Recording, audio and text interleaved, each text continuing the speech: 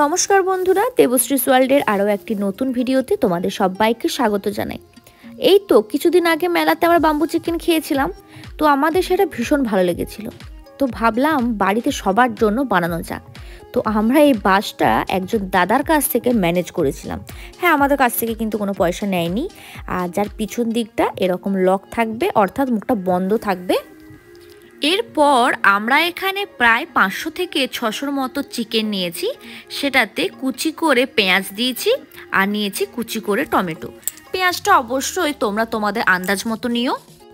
এরপর ওতে দেব আদা ও রসুনের পেস্ট দিয়ে দেব এক প্যাকেটের মতন মানে ছোট যে প্যাকেটগুলো হয়, ছোট প্যাকেটের এক প্যাকেট মিট মশলা। সব কিছু উপকরণ দিয়ে মাংসটাকে খুব ভালোভাবে একবার মিশিয়ে নেব।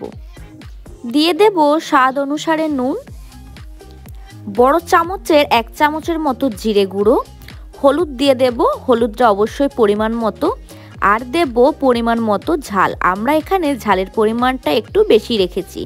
টমেটোর পরিমাণটা একটু কম লাগাতে দিদি ওখানে আরও একটা কি দুটোর মতন টমেটো কুচি করে দিয়ে দিল আর দিল ধনে পাতা।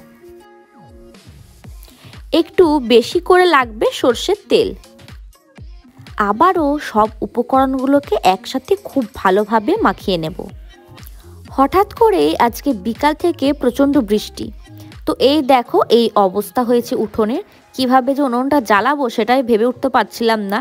তো এটাকে আজকে আমরা কাঠে রান্না করব। তো কাঠ ছাড়া এটার টেস্ট সেরকম আসবে না, যেটুকু মনে হয়। কারণ আমরা মেলাতে সেটাই দেখেছিলাম। সে যাই হোক, এখন আমরা মাংসগুলোকে বাঁশের ভিতরে ভরে দিচ্ছি। অত মাংস তো একসাথে ধরবে না।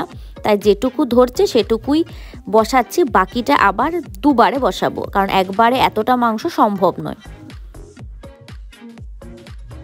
অন্যদিকে যাই হোক করে দিদি আর ছোটো মাসি মিলে উনুনটাকে দেখছি ভালোভাবে জ্বালিয়ে ফেলেছে।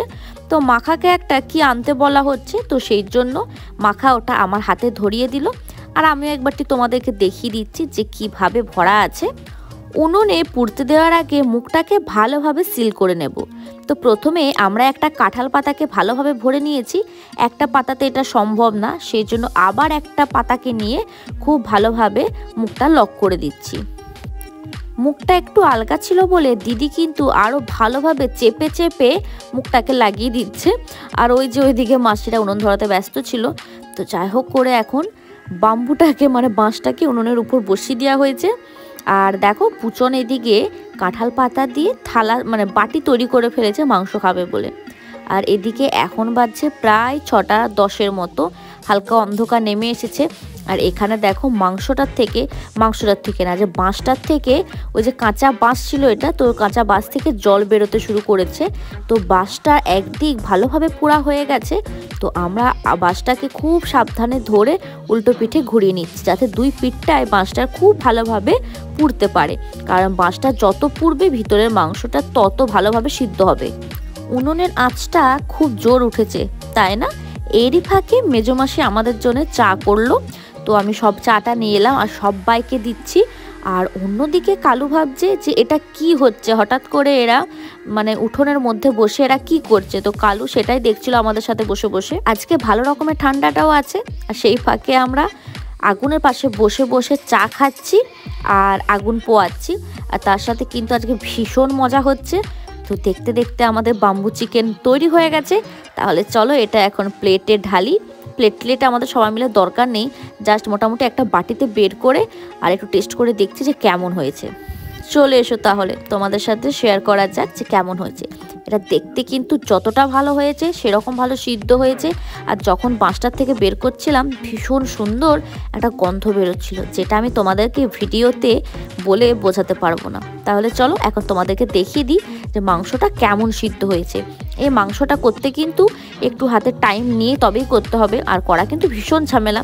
কিন্তু ওই বছরে এক দুবার তো করা যেতেই পারে। তো আজকের ব্লগটা এখানে এন্ড করছি। দেখো, মাংসটা কত ভালো সিদ্ধ হয়ে গেছে। আজকের ব্লগটা এখানে এন্ড করে দিচ্ছি। তোমাদের যদি ভিডিওটা ভালো লেগে থাকে, অবশ্যই লাইক করো। চ্যানেলটাকে সাবস্ক্রাইব করে। পাশে রাখা বেল অবশ্যই অন করে দিও।